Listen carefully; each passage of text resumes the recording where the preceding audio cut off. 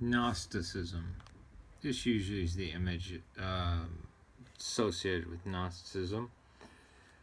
Having studied Gnosticism for, oh God, how's it been 17 years already? Gnosticism. Um, no sex, no children, no women, Stoicism, the belief that nature is ugly and evil, the God who created all of nature, um, like the physical world, is evil. The body is a tomb. Uh, the invisible God is 100% good. Uh, and you must be an elitist that looks down on everyone else. Again, I didn't make these things up. Um, the evil god that created all of nature, uh, all the physical world, is called the demiurge. And the demiurge tries to entice and deceive by the beauty of the natural world and through um, sexual desire. The good God is 100% spiritual and had nothing to do with uh, the creation of anything physical. Um, two main characteristics of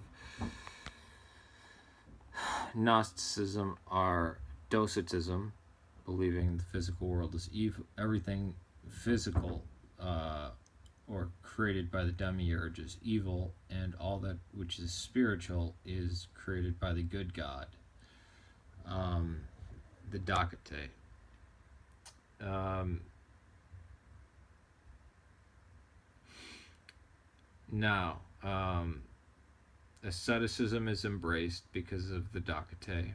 There is a large amount of secrecy around it, as well as there being Aeons and Archons. The Archons are kind of like the Demiurge's angels or minions, um, although they are also rulers of both uh, the political world as well as the spiritual rules, uh, the spiritual rulers of the um, the various realms that you must pass. Uh, they are like uh, angels slash judges um, that can uh, cause you to trip up. Shockingly close to um, the toll houses of uh, a faction of Eastern Orthodoxy. Here's a view of the uh, the aeons that must be passed. Let me see if I can scroll down. Okay, now there's something about this that irks me. Now, while um, various factions believe that uh, the serpent in the Garden of Eden uh, was the true one, the uh, the good God, who is um, all spiritual, took on the presence of a serpent. Uh, many equate this, many of the Gnostics equate this with Christ because Gnosticism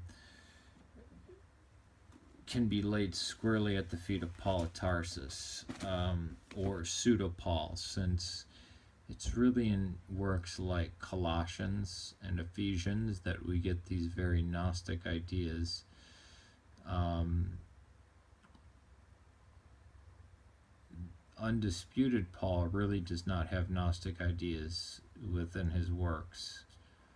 Um, so that the good God is actually handing over the knowledge of good and evil to mankind, which was forbidden from by the demiurge who while crafting an eternal earthly paradise did not want um, man to become like him now here is a diagram that is incorrect since the Arians were not Gnostics. The Valentinians were. I don't know why they don't have the Basilidians here.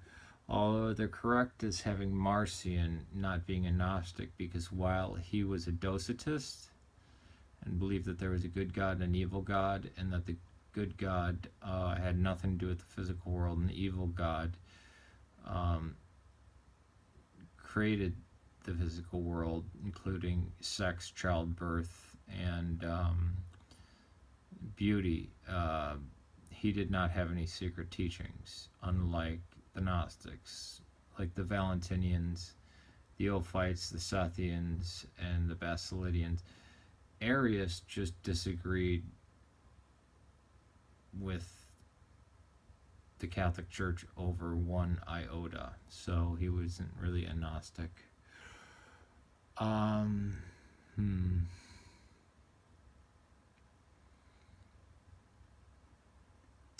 Origen, while believing in a pre existing soul and reincarnation, was not a Gnostic. It says Christianity here, although the Gnostics are Christian. This should say Catholicism with a little c. It wasn't big C Catholicism yet, or Orthodoxy. And Paul, uh, not the most blameless. Oh, also the uh, it just goes without saying. You probably figured it out, but the uh, the Gnostics were anti-Semites, heavily anti-Semites. They hated the God of the Old Testament. Gnosticism.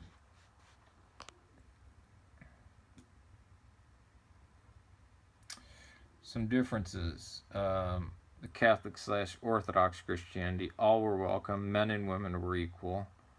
There were no secret teachings. Nature and creation of God were good. The body is important. Um,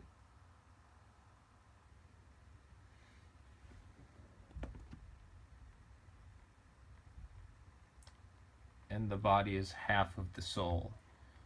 No human being is untouchable trash. The Gnostics, however, despised childbirth, conception, sex, uh, carnal pleasure, uh, and the most perfected state in many Gnostic groups was to starve oneself to death, like with the Albigensians, also known as the Cathars. Let me see what this one says. The divine Jesus would never touch flesh, which is evil. Jesus only seemed human. Jesus only appeared to die. Jesus, eh, Christ left Jesus before the crucifixion. That's a form of of Gnosticism or Docetism because there's nothing really Gnostic about that. It's more docetic. And that was only a form of docetism. Uh, whereas other forms of docetism, Christ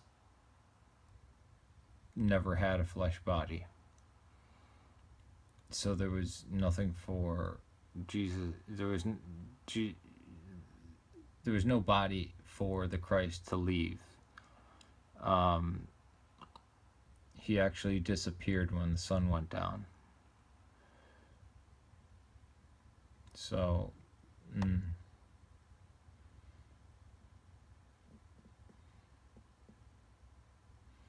Docetism, that's what we were talking about. There's Rome. Now here are some of the apostles, right? Funny that they shouldn't they didn't know anything about Docetism. Now, Um, as I said, the uh, the founder of Docetism. Hmm, is this does this get into the Mandaeans? No, it does not. Oh, there's the massacre of the Christians. Huh.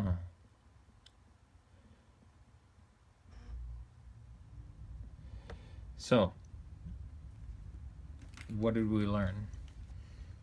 That the God of the Jews was evil, and that um, Gnosticism was either intentionally or inadvertently caused by Paul because Paul.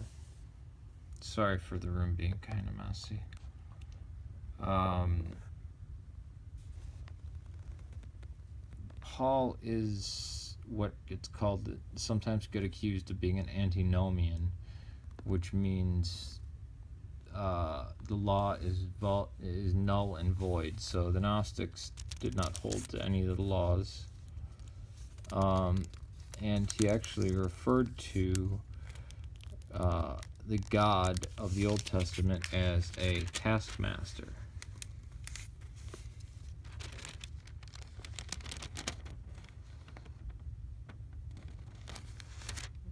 Um, I believe it's in Colossians.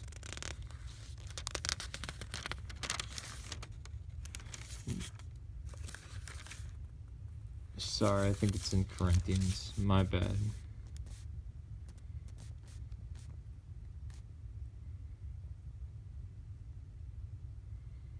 Hmm. Yeah. so the Gnostics, um, anytime you, I mean, Dan Brown got it completely wrong that they, you know, they were all for sex and stuff like that. No, no sex, no childbirth. Do you know why? Because um, having sex was the most carnal act you could do, and it bound you to this world, and, and, and it was it um, attracted you to this world by being the most pleasurable carnal thing, and it could possibly uh, trap a soul, pull down a soul from the pleroma from heaven, and trap it in a human body. Oh yeah, some terms that you'll find in the New Testament of Paul and that are used by Christians as well as the Gnostics. Nous, Pleroma, Aletheia, Logos, Sophia, Ecclesia, and Aeon. Archon as well. But yeah. Last of the Gnostics to die out were the Albigensians, also known as the Cathars. Bogomils died out around the same time.